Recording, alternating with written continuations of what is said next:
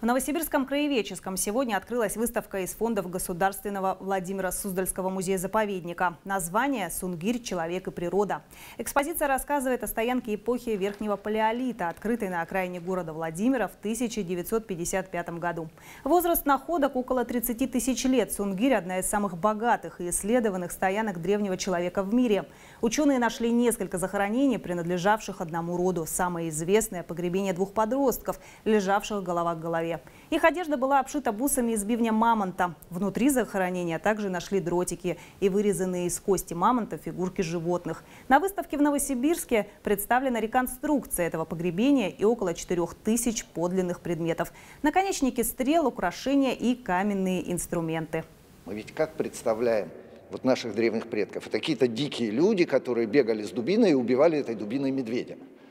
Да? Но кроме этого, они делали совершенно потрясающие рукодельные вещи. То есть они были большие мастера. И вот тут же в соседних витринах есть каменные предметы. И если посмотреть, как они сделаны, вот эта вот э, концевая ретушь, такая очень тонкая, это очень острые наконечники стрел, или там очень острые ножевые пластины, это все сделано качественно.